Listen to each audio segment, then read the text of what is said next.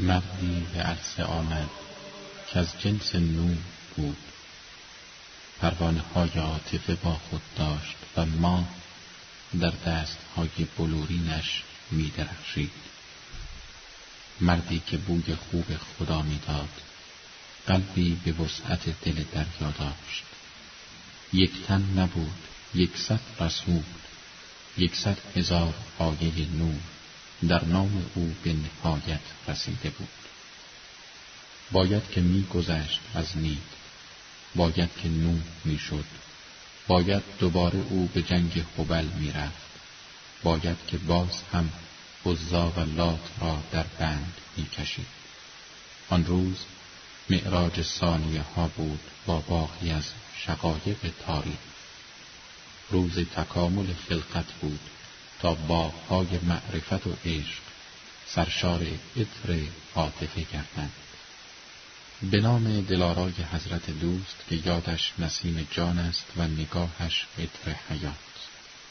دوستان عزیز یاران صمیمی و شنوندگان گرامی سلام. سلامی به زیبایی آبشار دل بیداران و سلامی به لطافت گلبرگ روح پاکان. باز هم فرصتی دیگر و لحظه های حدیث یار. آن یاری که در خاک های تشنه باران را نوشت و در شب معیوس تلخ سرخی خورشید امید را بر اندیشه یاران نگاشت او امام ما بود که در سرزمین خشک و ویران شرحی از سیمای گلهای بهاران کشید و روح آرامش را در تن بیقرار آب و خاک و عشق دمید. اکنون به تماشای او می رویم. امتداد سیمای سپید او همچنان باقی است نگاه بلند او پایانی ندارد زیرا که نه سپیدی سیما از خود او و نه بلندای نگاه همه از خدا بود او هرچه داشت از عرش بود از ملکوت و از صحیفه‌ای که روح الامین علیه السلام بر محمد امین صلی الله علیه و آله و سلم آورده بود و اکنون در دستان معجز نشان او قرار داشت. او بر سیره رسول بود و پرورده مکتب علی علیه السلام. او قدیر را فهمیده بود و آشورا را همان عید قربان می‌دانست و حسین و اسماعیل علیهم السلام را پیروز هر دو میدان. امام را از کجا این گونه می‌شناسیم؟ از صحیفه پرنور او و کتاب شریف چهل حدیث یکی از هزاران برگ زرین این صحیفه است در ادامه برنامه از شما دوستان عزیز دعوت می کنم سخنان حجت الاسلام و المسلمین آقای مهندسی را بشنوید که به شرح و تفسیر بخش دیگری از کتاب چهل حدیث حضرت امام خمینی رضوان الله علیه می پردازد. بسم الله الرحمن الرحیم الحمد لله رب العالمین و صلی الله علی محمد و آله الطاهرین. هشتمین حدیثی که حضرت امام رضوان الله تعالی علیه در کتاب شریف شرح چهل حدیث مطرح فرمودن حدیثی بود از امام صادق علیه السلام منقول از رسول اکرم صلی الله علیه و سلم در ارتباط با مسئله عصبیت. فرمود من کان فی قلبه حبت من خردر من عصبیت بعثه الله یوم القیامه مع اعراب الجاهلیه. اگر کسی ذره از عصبیت در دلش باشه روز قیامت با اعراب جاهلیت محشور خواهد شد. و طالبی در گذشته در ارتباط با شرح این حدیث شریف مطرح شد. اثر بسیار خطرناکی که عصبیت در قیامت خواهد داشت. ظهور صورت باطنی این صفت و این رزیله اخلاقی هست.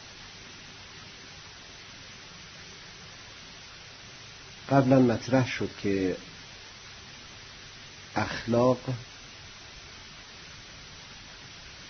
در چهره باطن دارای یک صورت و یک تحقق و فعلیتی هستند که روز قیامت به صورت تجسمی از اون زشتی ظهور پیدا می‌کنن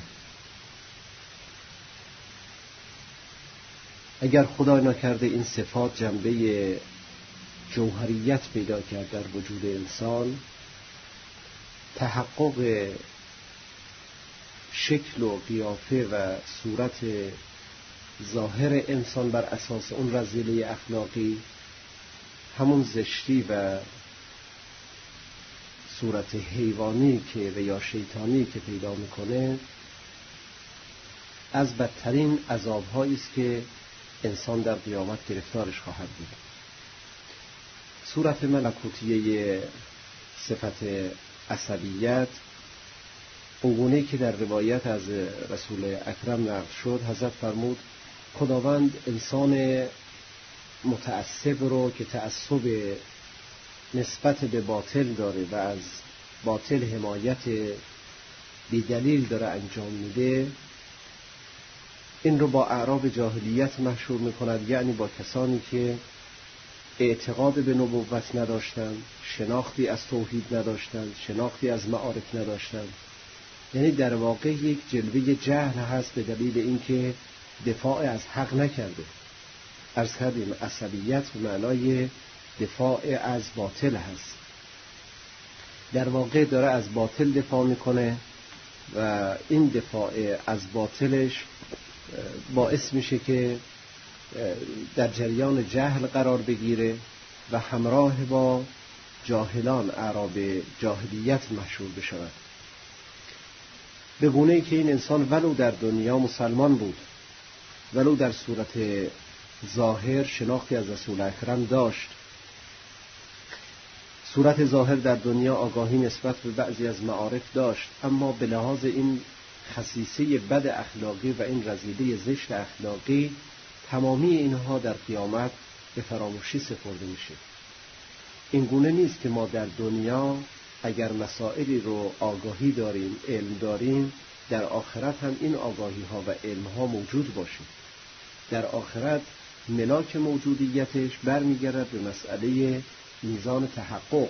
چقدر به این آگاهی ها تحقق پیدا کردیم؟ چقدر رابطه جدی رفتاری اخلاقی ذاتی و اعتقادی نسبت به اینها داشتیم به این مقدار در قیامت ما از آگاهی ها از معارف از اخلاقیاتون بهرمند هستیم. و الا اون که از نظر مفاهیم ما در این عالم داشته باشیم مفاهیمی داشته باشیم ذهنیت هایی اینها در آخرت دلیل بر اینکه ما به این آگاهی ها علم داشته باشیم و مطلع باشیم نخواهد بود.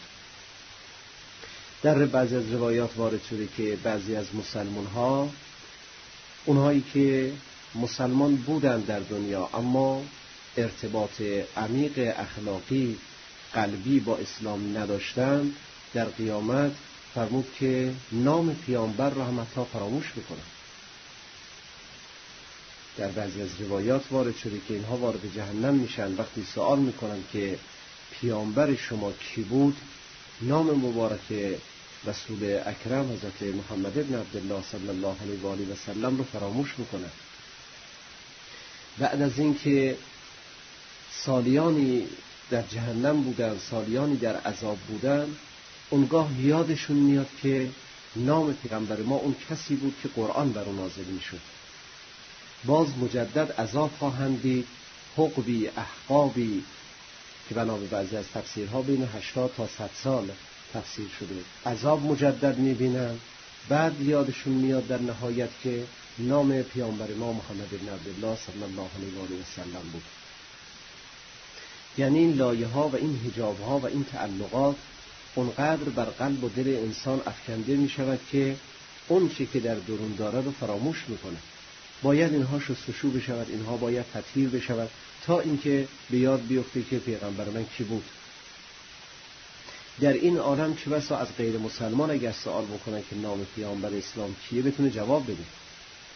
اما این چه مسئله است که مسلمانی که در این دنیا مسلمان بود اما اونجا نام مبارک رسول اکرم رو فراموش می‌کنه. اگر این هجاب ها این تعلقات این اخلاق رزیله اینها نبود اونها هجاب نبود. اونجا باید بلا فاصله جواب این که نام پیامبر توکی است رو بتونه بده. در هر صورت انسانی که گرفتار عصبیت شد انسانی که از باطل دفاع بی اساسی رو داره انجام میده تحت این هجاب ها وارد میشه و اگر خدا ناکرده برای او یک جوهره شد و برای او یک صورت ملکوتیه رو پیدا کرد با همون اعراب جاهلیت مشهور خواهد شد. با اونهایی که هیچ شناختی از پیامبر نداشتن هیچ شناختی از اسلام و معارف و توحید و قرآن و امثال اینها رو نداشتن حشر با اینها پیدا می‌کنه. و از اون جهت که این عصبیت از صفات شیطان هست شاید مقصود این باشد که این انسان در قیامت حشرش حشر شیطانی خواهد بود. یعنی به صورت شیطان محشور میشه. در روایات این عصبیت رو به عنوان صفت شیطان معرفی کردن از امام صادق علیه السلام روایت نقل شد که حضرت فرمود ان الملائکه کانوا یحسبون ان ابلیس منهم. و کان فی علم الله انه لیس منهم فاستخرج ما فی نفسه بالحمیدت و عصب امام صادق علیه السلام فرمود ملائکه گمانشون بر این بود که ابلیس از اونهاست اما در علم خدای متعال این معنا بود که از جنس ملائکه نیست و از اونها نیست. و وقتی که حالت حمیت و حالت عصبیتش رو اظهار کرد روشن کرد فقال خلقتنی من نار و خلقته من تین در جریان سجده بر آدم امر الهی رو اطاعت نکرد اونگاه برای همگان روشن شد که این از سنخ و از جنس ملکوت عالم و ملائکه نیست.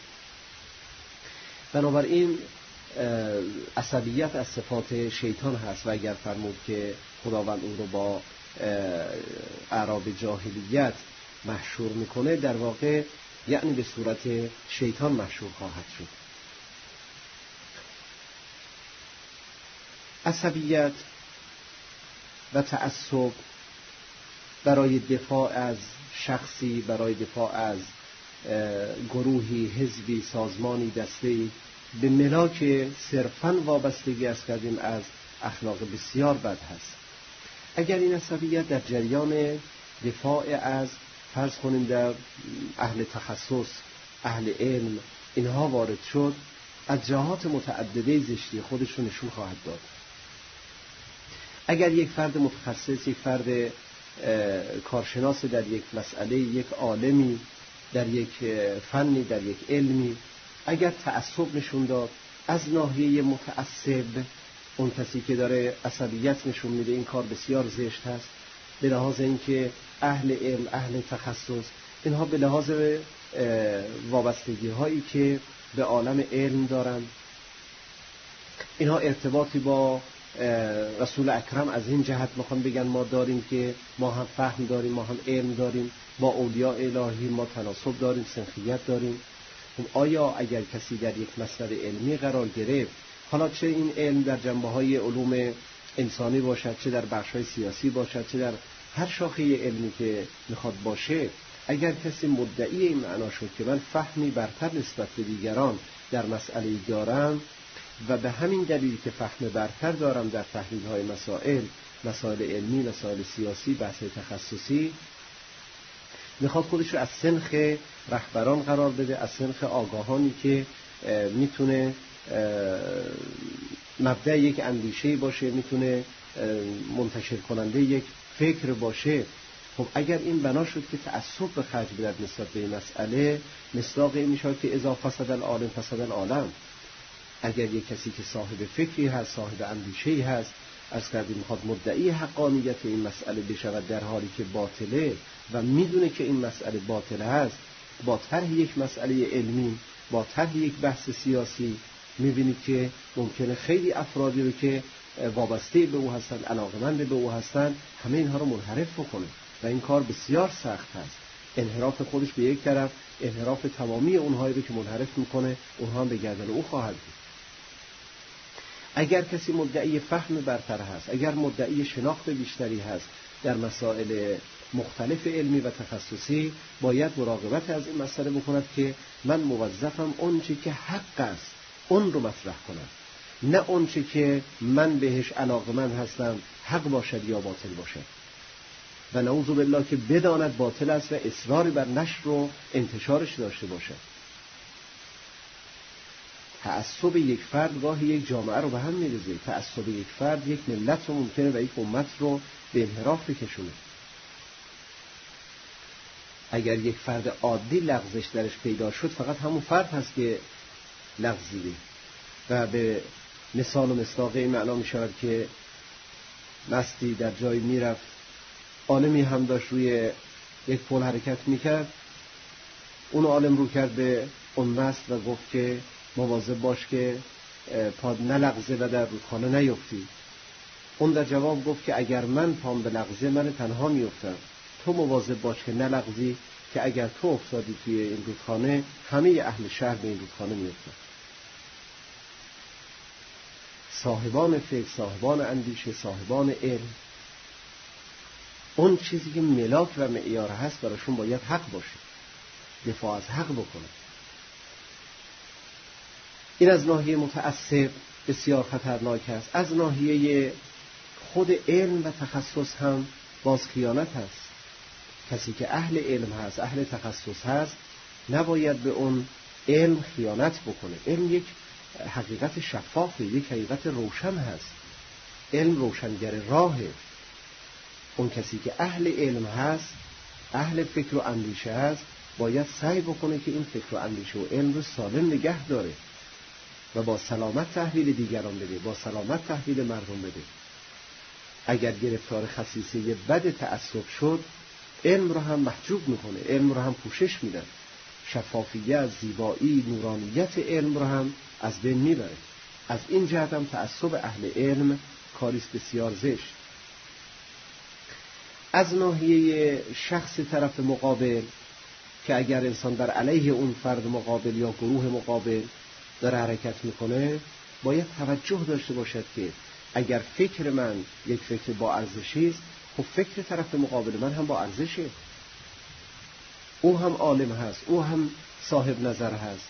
من به نظر او هم باید احترام بگذارم. حرمت او رو هم باید حفظ بکنم. احترام او رو هم من باید نگه دارم. اگر انسان یک فکر سیاسی پیدا کرد یک فکر یک اعتقادی رو پیدا کرد یک نظریه علمی رو در ارتباط با یک مسئله در مسائل گوناگون خاص مطرح بکنه باید توجه به این معنا پیدا بکند که نقطه مقابل من هم اونم صاحب فکره اونم صاحب اندیشه است. آزادی در بیان اندیشه هست اما در تعصب از باطل و باطل گرایی این رو هیچ فکر سالمی و هیچ انسان عاقلی نمیپسنده چون مسئله آزادی باید تأمین کننده رشد فرد و رشد جامعه باشد. اگر آزادی رو هزینه تهاجم غیر انسانی حجمه هایی که نتیجهش از بین رفتن حیثیت افراد و اندیشه ها و افکار اینها باشه این آزادی است که هیچ انسان عاقل و ملت عاقلی قبول نمی‌کنه. برای طرف مقابل مسئله علمی خودمون اگر یک بحث فقهی هست چطور در یک حوزه فقهی یک فقیه وقتی که استظهاری نسبت به یک مسئله دارد و استنباطی از برای یک مسئله دارد حجوم و حمله جسارت آمیز به فقیه دیگه نداره. اون فقیه هم برای خودش یک نظری دارد محترم هست. من هم برای خودم یک نظری دارم محترم هستم. در همه بخش های علمی که رشد جامعه رو باید تأمین بکنه درس کردیم علم روشنگر راه هست مصباح هست چراغی هست که همگان رو باید هدایت بکنه و کسانی که از کردیم در مدار علم هستند در مسائل علمی هستند اینها در واقع مشعل به دستانی هستند که دیگران رو دارن هدایت کنند به طرف حقیقت. و چگونه می شود مشعلداری به طرف باطل حرکت کند؟ طرف مقابل هم او هم مدعی است بر اینکه من هم یک مشعلی دارم این هم بگه من هم یک مشعلی دارم. اون فقط در مقابل معصوم هست که انسان نمی‌تونه اظهار نظر بکند چون یقین دارد که اون نظری که مقابل معصوم هست یک نظر باطل هست. اگر در تقابل افتاد اگر در تضاد افتاد این دو نظریه قطعا نظر معصوم به دلیل اینکه حق صرف هست و حق خالص و سره هست از این جهت یه قابل خدشه نیست. در هر صورت از این جهت هم که انسانی که اهلی فکر است اهل اندیشه است در عین اینکه به فکر و اندیشه خودش باید احترام بگذاره و نظریه خودش رو مطرح بکنه دیگران هم محترم هستن دیگران هم صاحب نظر هستن. اونها هم باید نظر بدن و باید به اونها هم احترام بگذاره. عصبیت احترام طرف مقابل رو در هم میشکنه. یعنی اگر انسان از موضع تعصب نظریه از خودش رو خواست مطرح بکنه و اعمال بکنه از این موضع خاص حرف بزنه. قطعا گرفتار حمله ناصحیح به نظریه و صاحب نظر نقطه مقابل هم خواهد شد. از این جهت عصبیت برای اهل علم برای افرادی که مدعی آگاهی در مسائل گوناگون هستند کاری بسیار خطرناک. و همچنین از طرف کسی که داره ازش دفاع میشه. اگر ما از یک فردی داریم دفاع می‌کنیم آیا اون فرد دلش می‌خواد که ما مطلقا ازش دفاع بکنیم ولو این که باطل باشد. اگر اینطور هست اصل دفاع کردن ما غلطه. اگر ما علم به این مطلب داریم که اون فردی که داریم ازش دفاع می‌کنیم از صاحب نظری که داریم دفاع می‌کنیم اینجور آدمی است که علاقمند است ازش دفاع بشود مطلقا ولو اینکه حرف باطل زده باشد. اصل دفاع انسان غلط خواهد بود. و اگر معتقدیم از اون شخصی که داریم دفاع می‌کنیم و از اون نظریه و صاحب نظری که داریم دفاع می‌کنیم اون انسانی است که علاقه به تبیین و ترویج حق داره.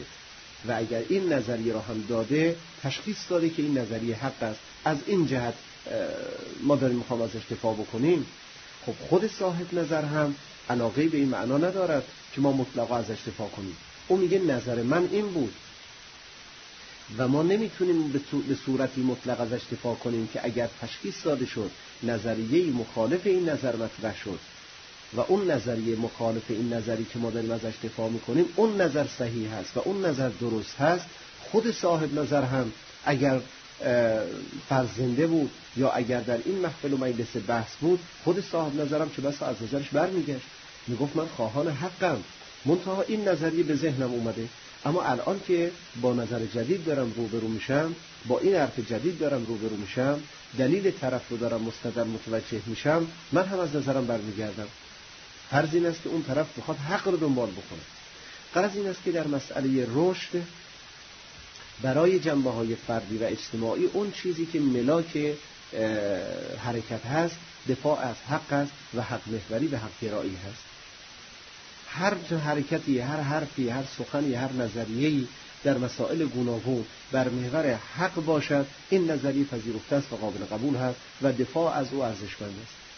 اما اگر باطل شد دفاع از باطل انسان رو به شیطنت گرفتار می‌کند و گرفتاری به شیطنت نتیجتا هش شیطانی خواهد داشت و ما اعراب جاهلیه. یعنی این حرکت حرکتی است که اصلا ارزش علمی نداره. اصلا ارزش رشد ندارد و با افرادی مشهور خواهد شد که اینها سرتاپا جهلند و جاهل بنابراین باید تلاش کرد باید کوشش کرد. این صفات رزیلی که سراغ انسان میاد این خصائص بدی که سراغ انسان میاد اینها را آدم باش مبارزه بکنه. این چهار روز دنیا از دست همه گرفته میشه. اون گونه نیست که برای همیشه این موقعیت ها بمونه و این مسائل بمونه. تلک ایام نداوله ها بین الناس قرآن فرماد این ایام رو ما در دست مردم داریم میچرخونیم.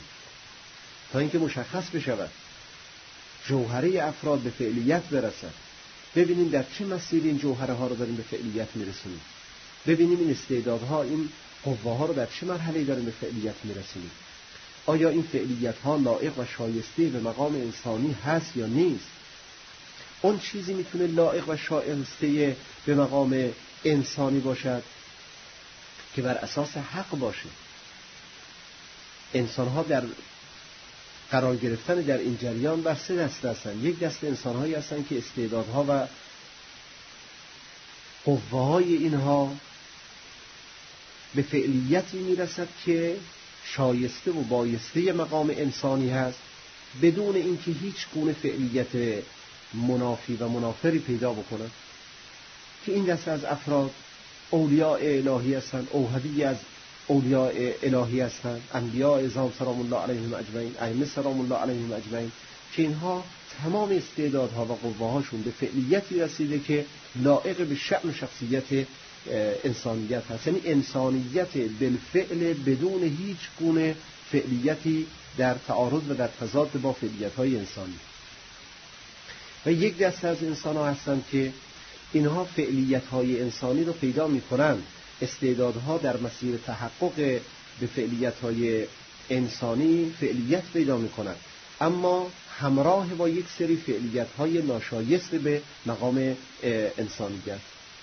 و دستی سوم انسانهایی هستند که تمام استعدادها و تمام قوه های خودشون رو صرف فعلیت های ناشایست نسبت به مقام انسانی می‌کنه دسته سوم اونهایی هستن که قرآن فرمود لهم قلوب لا یفقهون بها و لهم اعین لا یبصرون بها و لهم آذان لا یسمعون بها اولئک کالانعام اینا همه استعدادها رو ما بهشون دادیم. تمام اون چرا که می‌تونست اینها رو به مقامات عالی برسونه اینا رو در اختیارشون قرار دادیم اما اینها بهره نگرفتن. اینها سوء استفاده کردن. اولئک کل انعام بر هم ازل. اینها مثل حیوانات در سوره فرقان فرمود ان هم الا کل انعام بر هم ازل به سبیلا. اینها مثل چارپایان هم بلکه از چارپایان هم بدتر. یعنی در واقع این دست از انسان ها اون چی که از سرمایه های تکوینی که خداوند در اختیارشون گذاشت اینها ضایع کردن و از بین بردن. در این سه دسته در سوره مبارکه هم اشاره به این مسائل شد. یک دستی که سرات الذین انعمت علیهم یعنی اونایی که تمام راهی رو پیمودن که تمام استعدادها و قوای اینها فعلیت لائق به شخصیت انسانی پیدا شد. استعدادها تبدیل شد به انسانیت. الان انسانیت بالفعل دارن. الان انسانیتی دارن که به کمال رسیده و به حد کمال رسید صاحب مقام اطلاق شدن صاحب مقام ولایت کلیه شدن. و یک دسته از انسانها انسانهایی که به فعلیت های انسانی رسیدن اما همراهش یک سری فعلیت های غیر لائق به شخصیت انسانی رو پیدا کردن. اینها جزء اصحاب یمین هستند و اون دسته سوم که همه استعدادهای خودشون رو فانی کردن یا به تعبیر دیگری تبدیل به حیوانیت کردن. اینا اونایی هستن که اصحاب شمال هستن و در جهنم جایگاهشون خواهد بود. بنابراین این زمان و این اونچه که در این عالم در اختیار ما گذاشته شده اینها بستر رشد باید باشد ما بخواهیم و نخواهیم لحظه به لحظه داریم فعلیت پیدا می‌کنیم داریم تحقق پیدا می‌کنیم. از حالت قوه و استعداد داریم به فعلیت می‌رسیم. چه بستری رو برای خودمون فراهم کردیم؟ چگونه فعلیتی رو داریم پیدا می‌کنیم؟ ما هر جور که حرکت کنیم خدای متعال این حرکت ما رو داره هدایت می‌کنه. لکلن وجهتون مبلی ها برای هر موجود یک وجهه است که خدای متعال مولی این وجهه است. اون رو داره می‌کشه و به مقصد میرسونه. اما فرمود فسته به قل خیرات دنبال خیرات برید. بنابراین ظرف آل ظرف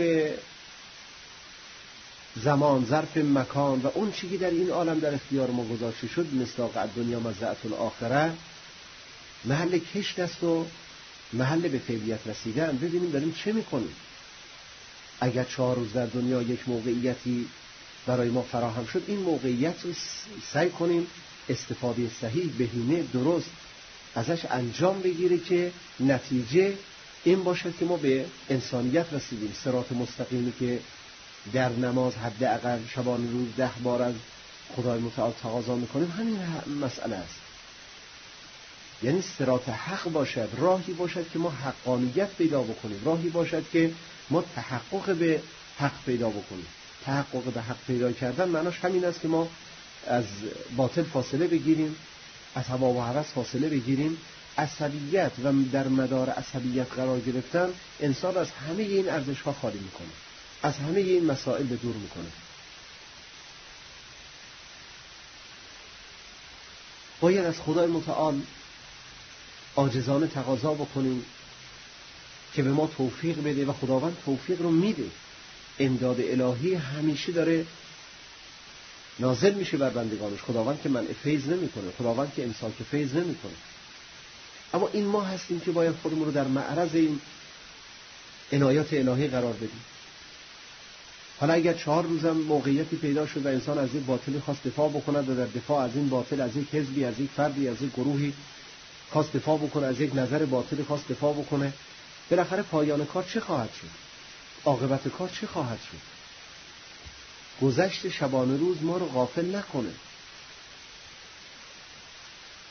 در عرصه های مختلف قرار گرفتن ما رو گیج نکنه. مسائل اجتماعی مسائل اخلاقی مسائل خانوادگی مسائل سیاسی موقعیت ها اینا گردابی نباشه که ما درش غرق بشیم. بلکه اینها باید وسیله معراج ما باشه وسیله عروض ترقی و تعالی و تکامل ما باشه. آجزانه باید از خدای متعال تقاضا کرد. بریم به درگاه خدا و بخواهیم که نفس رو اصلاح کنیم. بخواهیم که از مسائلی که ما را از خدا باز میداره از اونها دور بشیم. خدای متعال ما رو کمک می‌کنه وعده داره. وعده داده که اگر شما بخواید خودتون اصلاح کنید من کمکتون می‌کنم. اما بدبختی اینجاست که ما به فکر اصلاح خودمون نباشیم. و همه این نظام عالم هم جمع شد. این ایام و این زمان و این مکان و این فرصت ها و این مسائل از دست ما گرفته شد. یک آه ابدی و یک حسرت همیشگی بر قلب و دل انسان باشد. اونجا متوجه بشه بعد از مرگ وقتی این هجاب ها کنار رفت وقتی این مسائل ارتباطات دنیوی از ما گرفته شد. اونگاه ناله و فریاد سر بدیم که رب برجعون لعلی اعمل سال هم فی ما ترک. اونجا تقاضا کنیم بگیم خدایا حالا بیدار شدم متوجه شدم که موقعیت از دست دادم. کارهای خوب می‌تونستم انجام بدم ندادم. از باطل دفاع کردم در حالی که باید از حق دفاع می‌کردم. حالا بیدار شدم و متوجه خطا و اشتباه هم شدم. منو برگردون تا اون کارهای شایسته ای که ترک شده انجام بدم. جواب کلا انها کلمتون هو قائلها. کاری نکنیم که ناله رب برجعون رو سر بدیم و جواب کلا بشنویم. پروردگارا به محمد آل قسمت میدیم به مقربان درگاه قسمت میدیم. به اون انسانهای عاشق حق و حقیقت قسمت میدیم که همه ماها رو عاشق حق قرار بده. مدافع حق باشیم و از هر گونه باطل و باطلگرایی فاصله بگیریم و اگر عصبیت و تعصبی داریم در ارتباط با دفاع از حق و حقانیت ها باشد ان الله و السلام علیکم و رحمت الله و برکاته. شب رفت و به صبح موکب نور رسید. در موکب او بهار پرشور رسید. از جانب دوست پرتو روح خدا روشنگر شام های بیجور رسید. بله دوستان عزیز سخنان حجت الاسلام و المسلمین مهندسی را شنیدیم که به شرح کتاب چهل حدیث حضرت امام خمینی قدس سره الشریف پرداختند. بدین گونه برنامه حدیث یار به پایان رسید و ما نیز تا فرصتی دیگر برای شما دوستان گرامی لحظه های سرشار از شادی و خرمی آرزو می‌کنیم. عزیزان خدای بزرگ یاورتان